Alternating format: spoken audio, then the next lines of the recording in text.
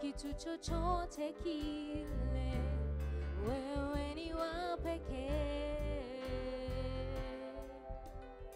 Wewe haulinganishwi kamwe na kitu chochote kile,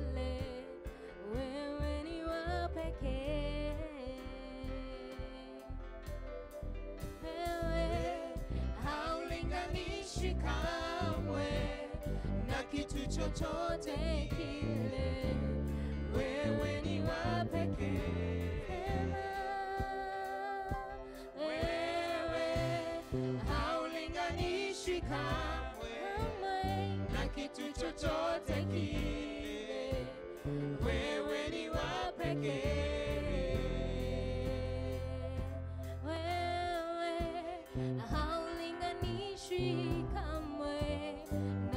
chochote kile, wewe ni wa pekee. Wewe haulinganishwi kamwe na kitu chochote kile, ni wa pekee.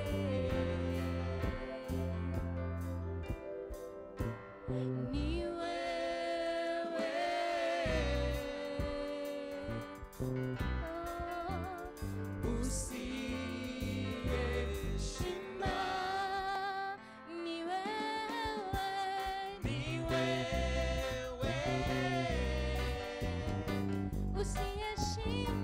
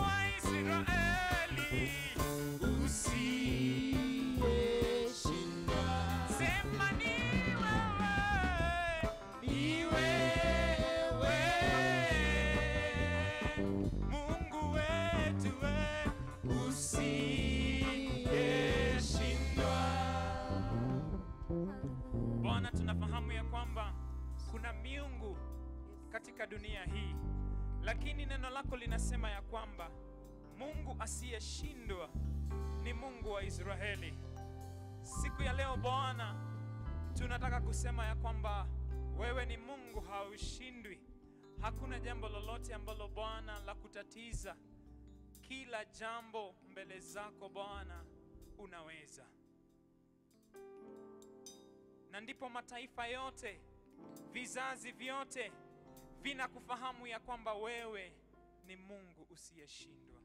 lime inu limeinu liwa neno lako oh. Once again, I come to you in the name of our Lord and Savior Jesus Christ. I want to glorify His name for saving us by His grace.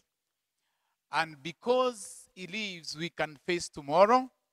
By His grace, we are what we are today. And I want to bring the Word of God from uh, to you from Full Gospel Churches of Kenya here in Meru Town and we continue from where we left last Sunday. We are discussing a topic, uh, the grace of God. And uh, last week we started by defining the grace, and we said grace is God's enabling power. Grace is God's unmerited favor towards those who do not deserve. We don't qualify, we don't merit, but God gives us that gifts unconditionally for our good and for our continuity, for our progress, and for our growth. Do you know the law tells us how crooked we are, but grace comes along and straightens you and me out. Grace comes to put us, to align us into the will and the plan of God. And last week we said, number one, why we need the grace of God. Reason number one, why we need the grace of God. We read Ephesians 2 8. We need grace of God for salvation. The Bible says, For it is by grace you have been saved. So we need grace for salvation. After salvation, I'll continue today. We need grace number two to teach us to say no to ungodliness, to worldliness. When we give our uh, lives to Jesus after salvation, grace will follow us through to teach us. Titus chapter 2, verse 11, a very powerful scripture, tells us, For the grace of God that brings salvation has appeared to all men. It teaches us to say no, capital no, to number one, ungodliness, worldly passions, and to live self controlled, upright, and godly lives in this present age.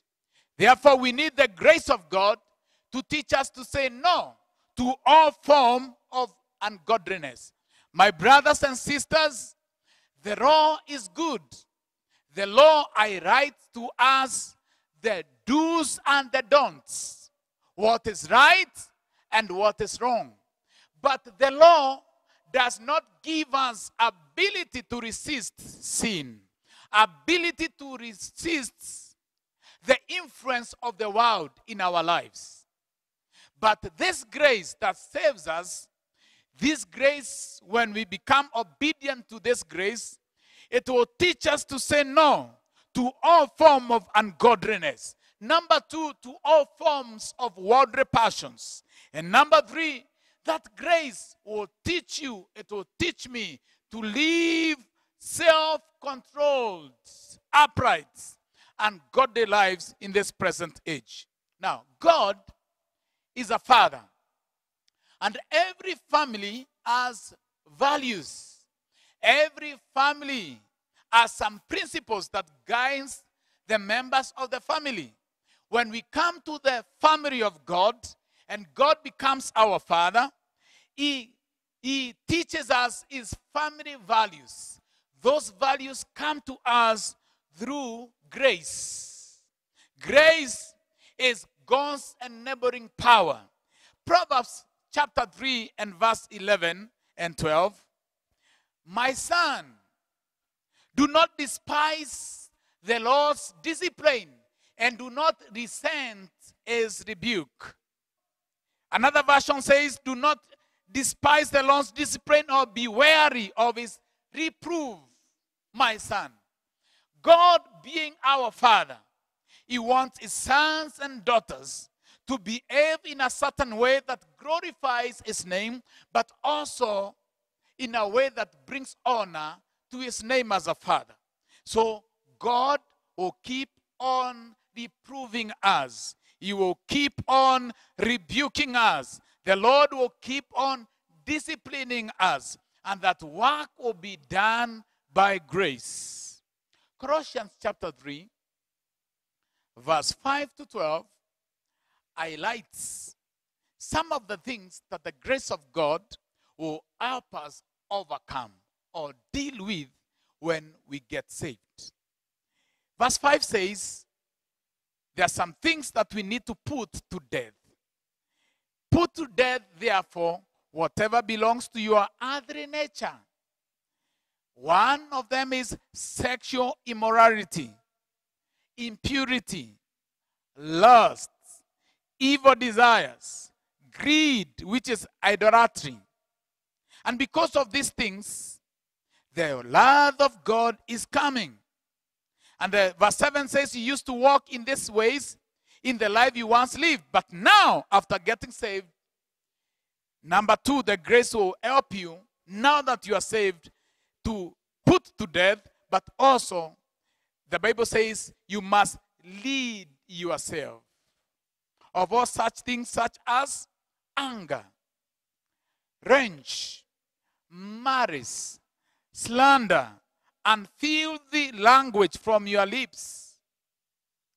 The grace of God would address the desires of the flesh. But also, number two, the grace of God would address your, your emotions. How to deal with your emotions. How do you what how do you deal with anger, with malice, with slander, with your filthy language when you come to the Lord? Verse 9 talks about lying. The grace of God will teach you not to lie. The grace of God will teach you some values.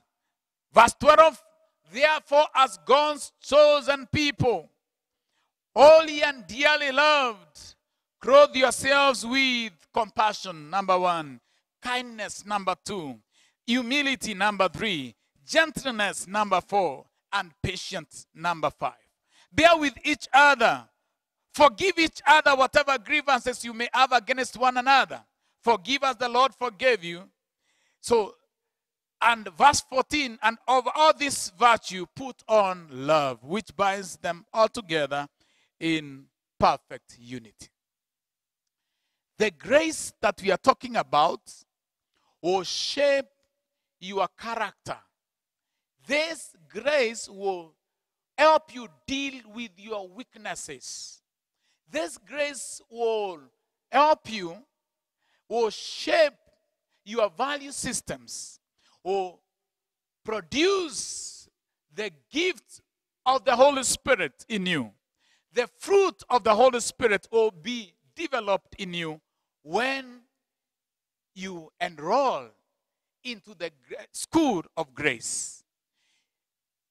As a human being, in a, no, a normal human being, becomes very hard to forgive and forget. Actually, people say, I can for, I will forgive, but I will not forget. But when grace comes in your life, grace will teach you to forgive. It will teach you to bear with other people. This grace will teach you to forgive and forget, which is very difficult. First John chapter 2, verse 15 to 17, we are still looking at the grace which will teach us to say no to all ungodliness and worldly passion. Verse 15 says, Do not love the world or anything in the world. If anyone loves the world, the love of the Father is not in him. For everything in the world, the cravings of sinful man, the lust of his eyes, and the boasting of what he has and does comes not from the Father, but from the world. The world and its desires pass away, but the man who does the will of the Father lives forever. My brothers and my sisters, I want to submit to you that worldly passions are a reality. Yes, a normal human being struggles with the cravings of sinful man. Lust is in us. Lusts and uh, even uh, pride is in us. Boasting is a normal human being way of living. But when we come to the Lord, He gives us grace. This grace will teach us. This grace will keep on teaching us, correcting us, rebuking us until we take the shape of Jesus Christ. Jesus Christ is our standard measure. And the grace will teach you to become like Jesus. Actually, Jesus is the full representation of grace. We can even call Jesus grace. He is actually the grace. He will teach you how to become like Him, to be graceful like Him. So, grace teaches us to say no. Number three, grace helps us in our weaknesses. As human beings, we are weak. You are weak. I am weak. You are weak in some areas. I'm strong in some areas. And that's why we encourage couples in a family setup to complement one another, not to compete. You complement one another. Even at the office, we need to complement one another, not to compete. Because what you are good at, I might be weak in that area.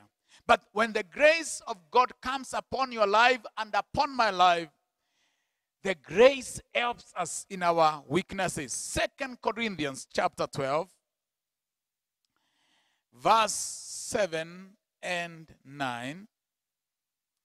Second Corinthians 12, 7 to 9. To keep me from becoming conceited because of this surpassingly great revelation, there was given me a thorn in my flesh, a messenger of Satan to torment me.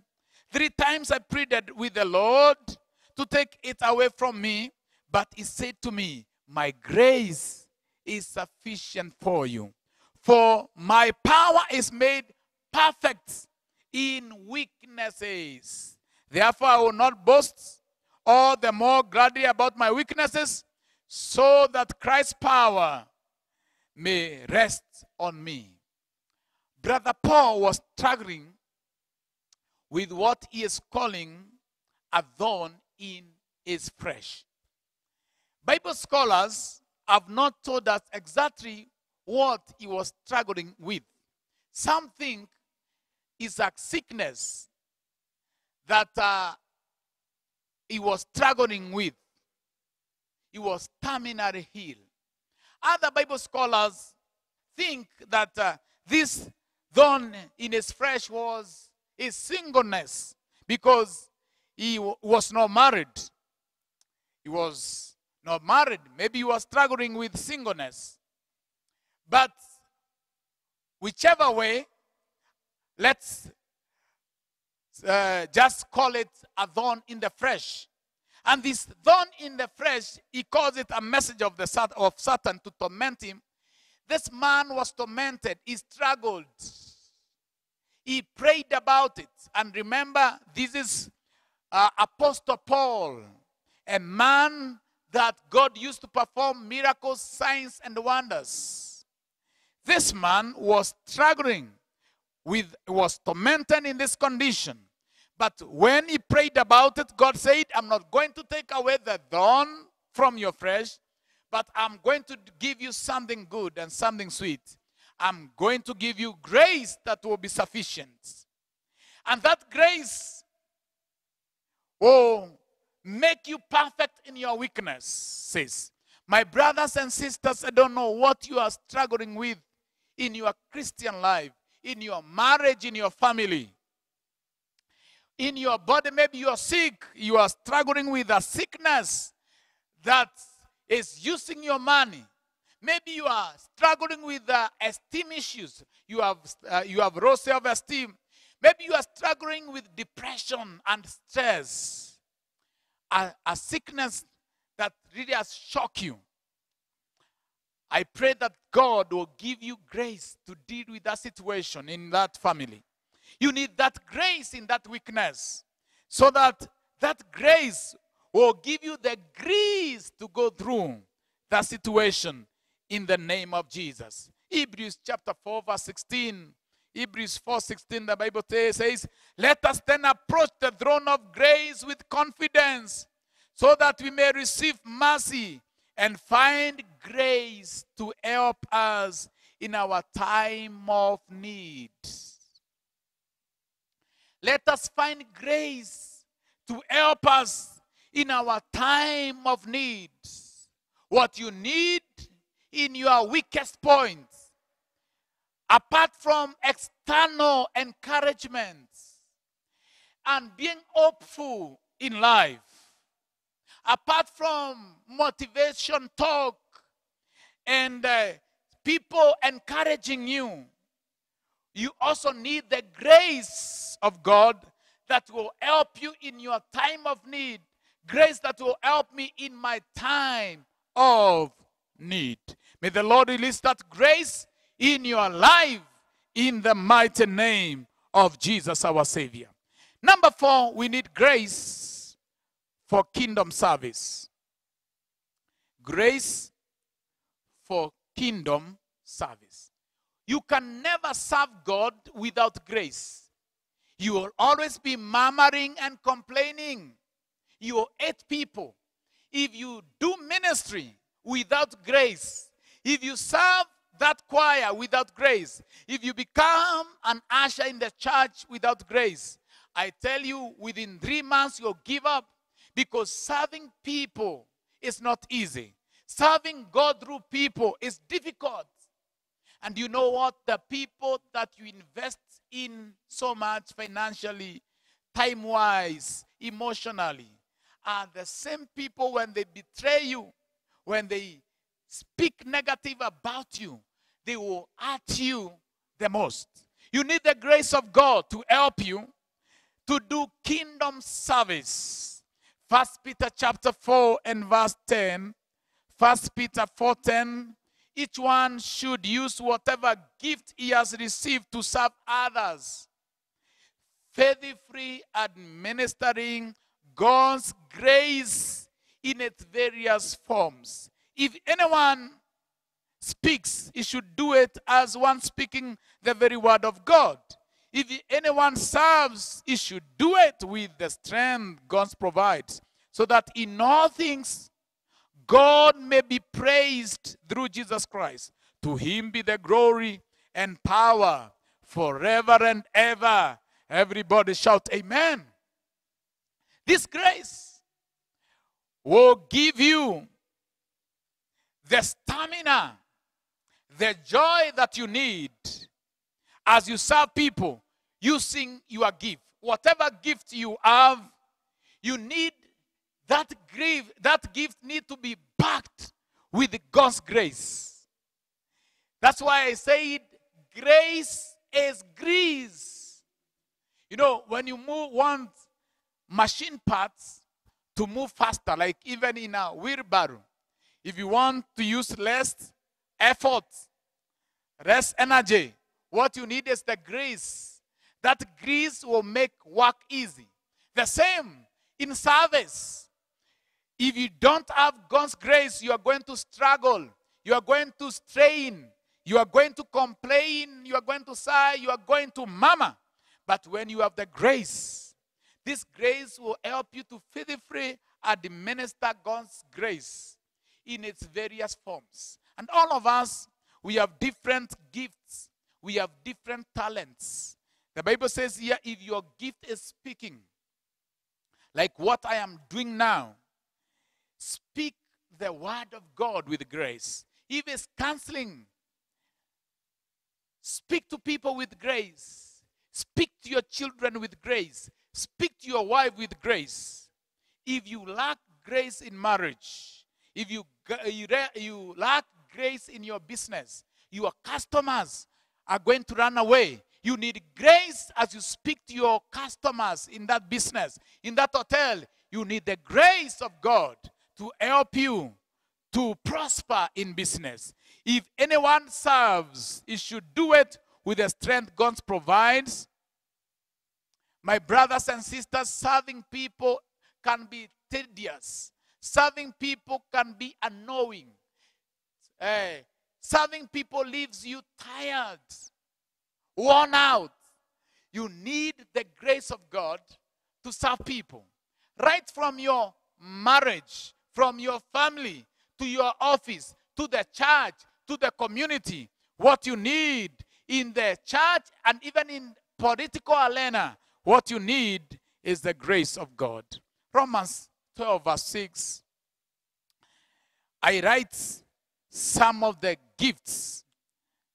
The Bible has told us in First Peter that whatever gift you have received to serve others. Romans gives us examples of those gifts. We have different gifts according to the grace given us. Note that gifts are given and they are in levels of grace. If a man's gift is prophesying, let him use it in proportion to his faith. If it is serving, let him serve. If it is teaching, let him teach. If it is encouraging, let him encourage. If it is contributing to the needs of others, let him give generously. If it is leadership, let him govern diligently. If it is showing mercy, let him do it cheerfully. My brothers and sisters, the Bible has given us examples of gifts.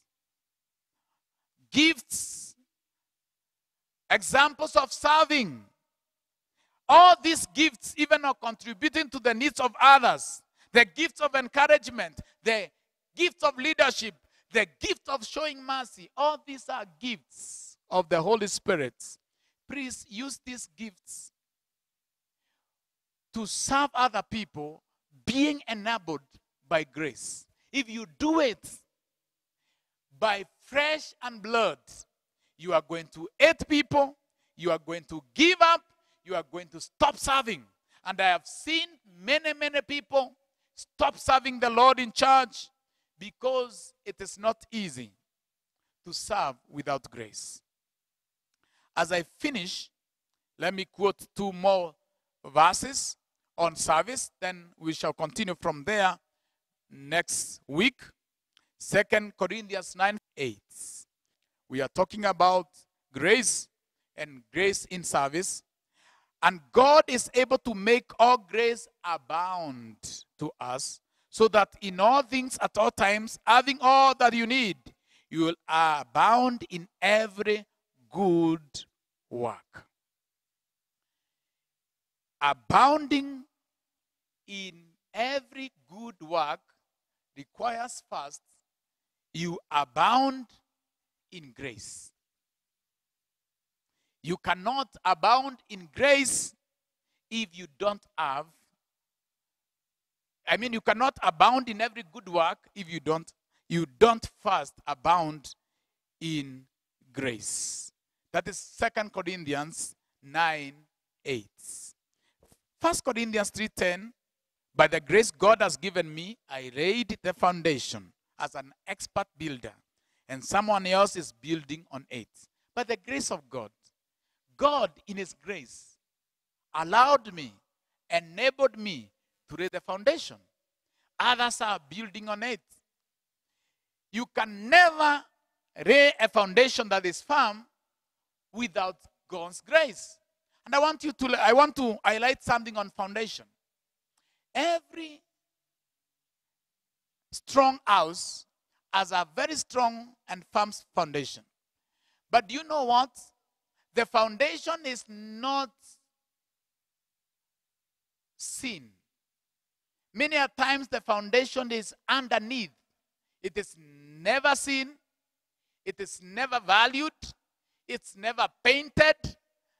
The foundation. People never talk anything about the foundation. They see the walls. They see the floor. They see other parts of the house, but they don't see the foundation. I want to talk to founders here. Founders of churches, founders of businesses, founders even of a nation like this. The people that we call them the founding fathers of this nation. Many of them paid the costs of making sure that there is independence in Kenya. But majority of the founders, they don't enjoy the fruits. They don't. So Paul says, It's by the grace of God I laid the foundation, and somebody else is building on it. When you laid a foundation with grace, You will never be bitter when you see other people building on that foundation, if, even if they don't remember the person who laid the foundation. You are not going to be bitter because the grace enabled you to lay the foundation for the glory of the name of Jesus. I have found founders of churches and ministries, founders of businesses who are very bitter in their old age because the people who took over and continued building on the foundation they laid, they disregarded them. They don't recognize them. They don't even mention them. They forgot them. Want to also appeal to those who are building on the foundation. Let us not forget our fathers who struggled. If they are still alive, please make sure that you recognize them. Make sure that you bless them and remember them, especially your parents who are the found, uh, they form a very strong foundation of your life.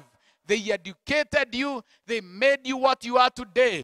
Remember the men and women that God has used to lay the foundation of your life, the foundation of your ministry. Remember your biological parents. Remember your spiritual parents who laid the foundation of what you are enjoying today. Even that business that you have inherited, please don't forget the founders. So, by the grace of God, Paul is saying, I've, I laid the foundation and as an expert builder, and someone else is building on it. Even continuing building on it, you need the grace of God. May the Lord bless you for following this uh, program on the grace of God.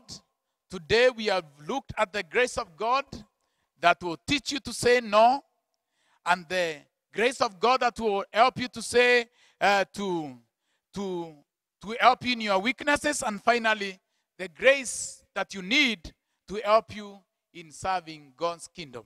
We shall continue from there next week, and I want to pray with you that the Lord God will give you grace. If you are not born again, there is grace for your salvation.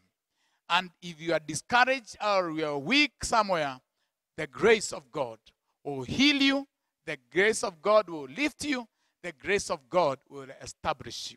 Let's pray together. Heavenly Father, I thank you for your grace that you are releasing in our lives today. I come before your throne of grace together with my viewers here. Lord, you know what they are going through.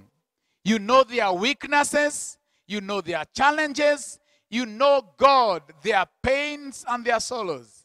We come to you praying that the grace will teach them to say no to every ungodliness.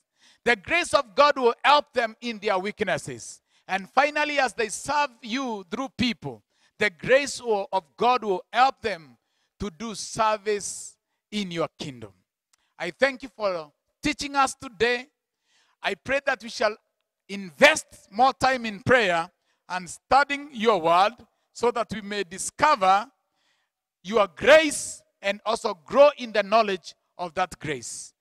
Take care of us, Heavenly Father. Fight all our battles. Prove yourself strong on our behalf. In Jesus' name, we pray and give thanks. Amen.